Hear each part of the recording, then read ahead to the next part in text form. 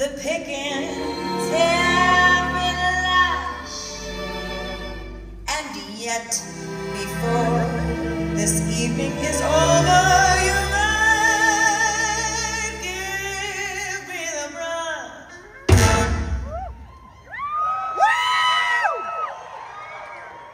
You